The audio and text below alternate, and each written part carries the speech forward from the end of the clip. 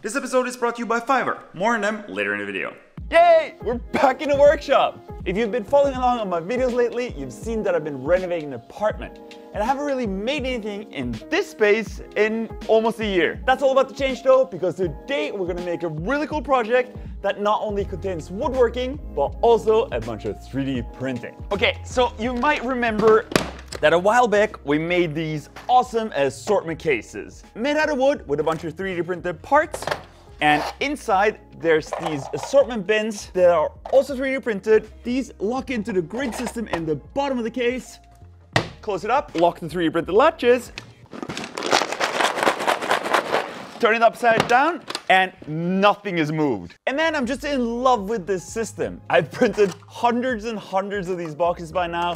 I made a bunch of these cases, and I use them for everything. As a matter of fact, I've also been using these cases to take screws and tools and all that sort of stuff with me to the apartment that we're currently renovating, and I've been using those to store all that stuff.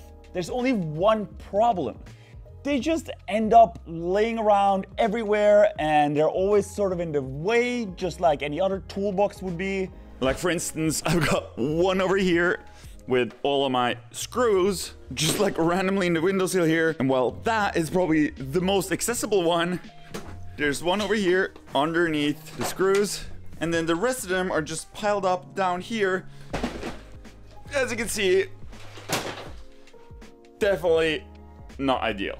So what I would like and what we're gonna build today is sort of a system that organizes these organizer boxes into like a tool cart with drawers that these can live in. So everything is super easily accessible and I don't have to deal with random stuff being collected on top of these or multiple of these being stacked on top of each other that you need to like reshuffle them to get access to the top.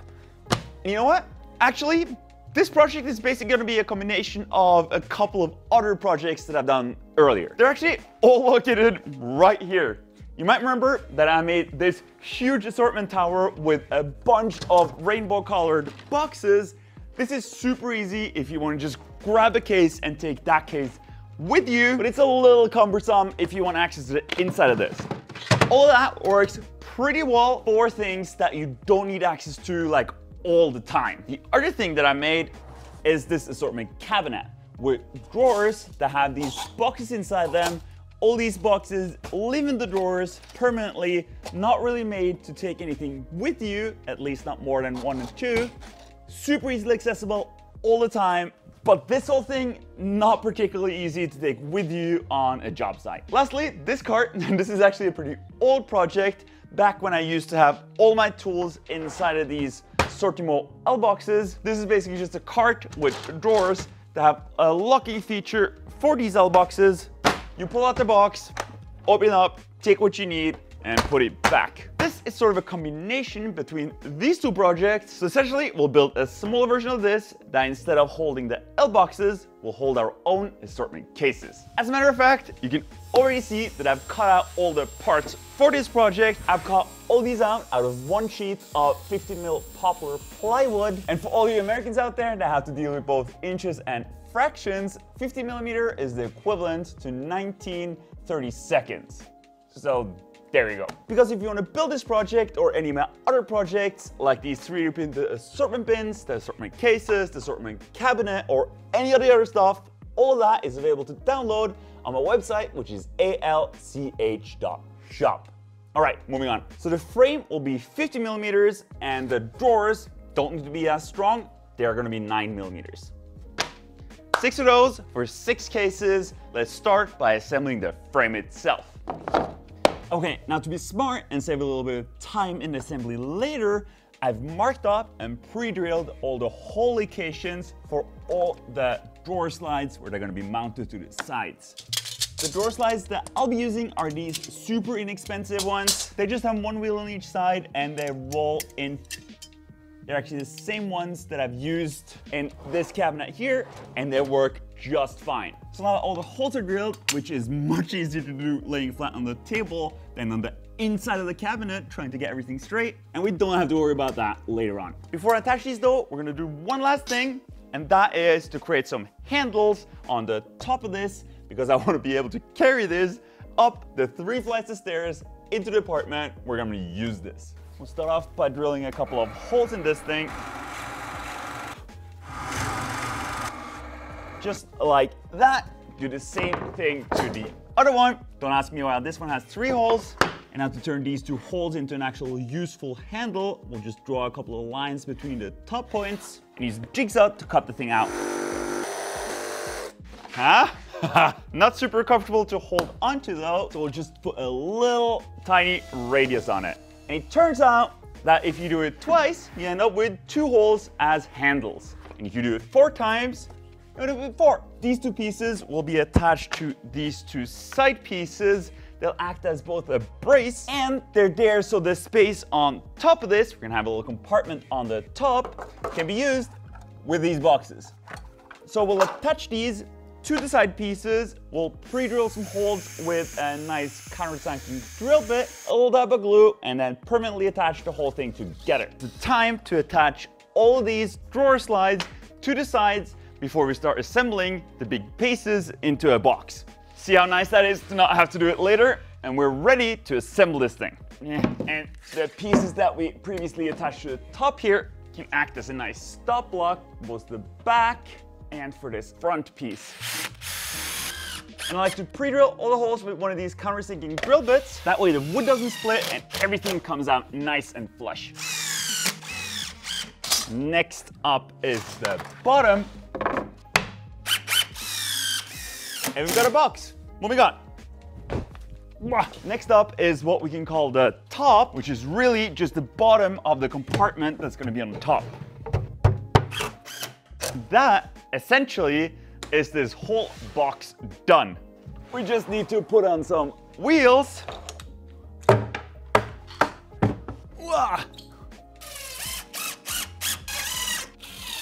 But hey, I just want to interrupt myself super quickly to talk about what goes into creating a build plan from a project like this one. Because what you guys see on my website, which you can download and use to build these sort of projects, is far different from what I see because this is my entire cut list, build plan, instructions for this entire build. What I normally have to do after building a project like this is that I first note all the small details and changes that I want to do after having built it once, do all those changes in the 3D model, and take that 3D model and create a build plan out of it with cut lists and dimensions and all that, whatever you need to build it. Now, all that just takes a ton of time, and it's not necessarily my favorite part of the job. And that's why I'm super excited to tell you guys about today's sponsor, Fiverr. So yes, this is an ad for Fiverr and they've sponsored this video and they've given me a budget to use on their site. So in case you're not familiar with Fiverr, it's basically a website that connects you with freelancers that can offer all sorts of digital services.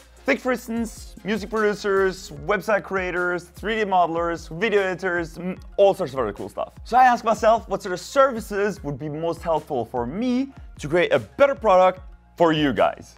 And what I landed on is that I wanted to get two things. I wanted to help creating a better step-by-step -step assembly guide, and I wanted some nice pictures of what I made for my website. So I jumped onto Fiverr, browsed around a little bit to see if I could find someone that had a style that I liked. The first guy I found was called Priyam Priyankara. I'm really sorry if I'm saying that name wrong. Super awesome dude. I reached out to him and asked him if he could help me out creating that assembly guide. He said, yep, no problem. We agreed on a price. And in case you're curious, he ended up charging me $238 for the whole thing. Now, this is what I sent him.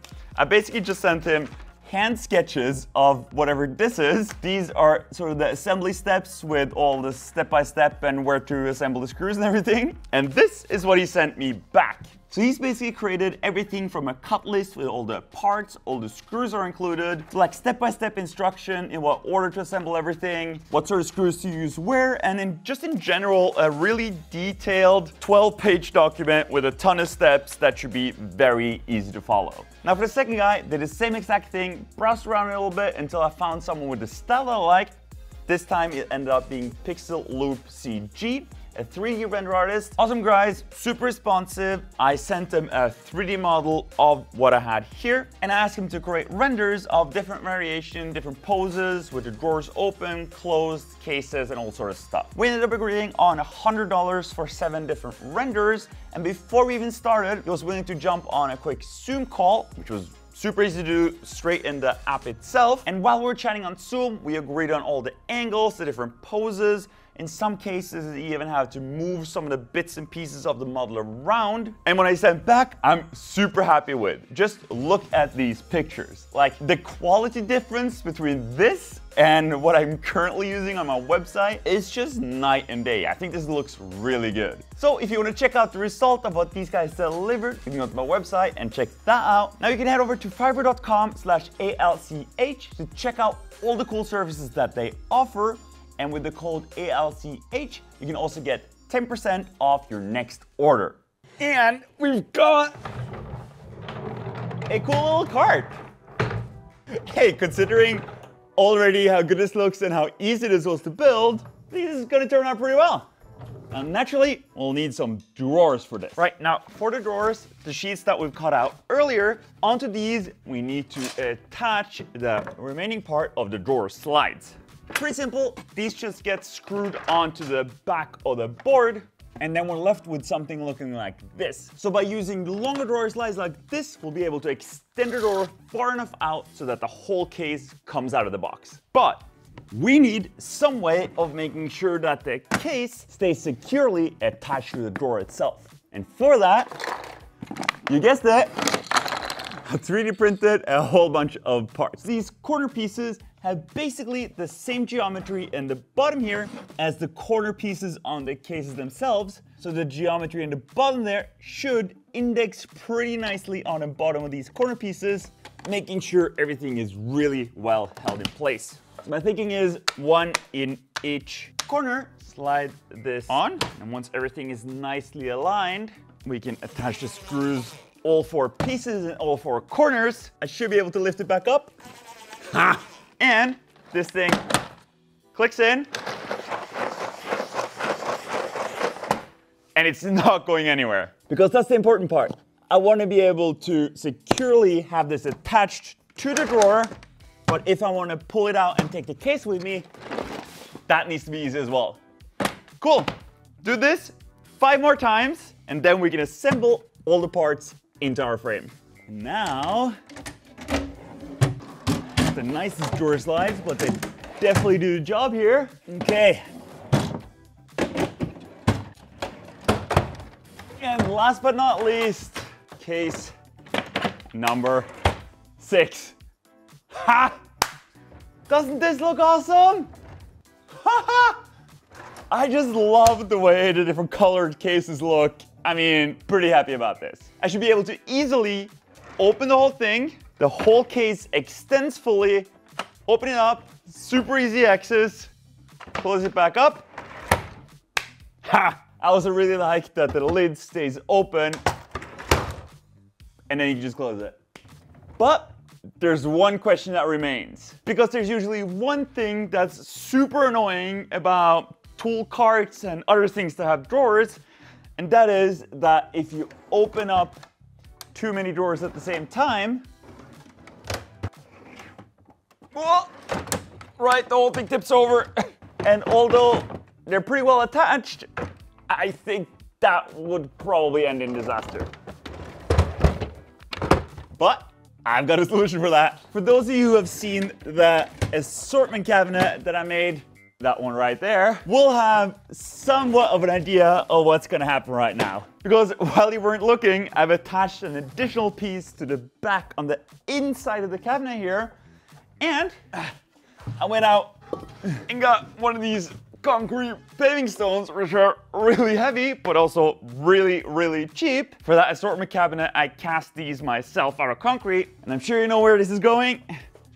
The idea is that I should be able to, oh God, this is heavy. that thing is in its little pocket, and with a couple of screws, We'll make sure that it just won't be able to slide back and forth on its own. Install all of these again. And I have not tested this before, but let's see if it works. It's one, two, three, four, and these are all pretty heavy. Five. Hey! that does not look like it's supposed to work. All right. And Now, last but not least, what to do in the top compartment here. Well, either you can just leave it open. It's a great place to put down some tools, whatever you're working on. But I figured this would be a great place to put some organizers. So I've yet again printed out a whole bunch of these base grids. These are the same base grids that live in the bottom of all the assortment cases and all the drawers I've got like this. And these are what allows the bottom of these boxes to register in here. Now, this is also why we had to install the two extra side bits here so that the dimensions add up and everything lines up perfectly. So now we can have big ones, small ones, doesn't matter, or any other combination of boxes. Now what's left to do is glue all this in place. Then I'll take the whole thing to the apartment. Guess I'll have to carry it up those three flights of stairs. Good thing this thing isn't heavy. Could have taken that massive chunk of concrete out of there. I wanted to be lazy, so now I have to do it the hard way. All right, this heavy thing is in here. Now it's time to fill it up. So let's go hunting for cases that are all over the place here. There's one here with a bunch of stuff on it. There's the second one. Ah, the third one is conveniently under a bunch of stuff and some headphones. Uh, whoop. Wood screws. Whoa, heavy. More wood screws and other stuff. Some bits, tools, cutting blades, stuff that's quite convenient. Plugs, wall anchors, they all go in here. Ha! I quite like this color theme as well. Now, obviously, here comes the test. Real life situation, all these cases with except the bottom one is full and they're pretty heavy. What happens? I'm just going for it here. Ha! Doesn't this just look super weird? With all of them just hanging out like that? Remember, if you want to build this or any of my other projects, you can head over to alch.shop, pick yourself up some 3D files and build plans. Also, I'm curious to know what you guys think about these sort of videos again, some 3D printing, some building, and not just renovating. Do you prefer this kind of content, a mix of both, or do you prefer the renovation series? Let me know down below. All right, and now to finish things off, super quick, it's actually been a couple of weeks, and I've had plenty of time to use this thing, and gotta say, I absolutely love it. It's just awesome to have everything easily accessible, and like I filled up the top with a bunch of stuff that I use all the time. One quick note though is that when I built this, I unfortunately used really crappy plywood that was pretty warped. And now I've never had this problem with any of my other builds that use the same exact construction, but this time around, since the sides were bent, they sort of bowed out a little bit and I didn't really pay attention to that. So sometimes on the middle ones, the drawer slides would sort of fall out of their tracks because the distance in the middle was wider because of the bent wood. To fix this, I've just attached another strip of wood to the side to stiffen the whole thing up. Now it works great. All right, that's it. That's all I wanted to say. Thank you so much to Fiverr for sponsoring this video. Remember, you can head over to fiverr.com slash ALCH to check out what they've got to offer. And with code ALCH, you'll get 10% off your next order.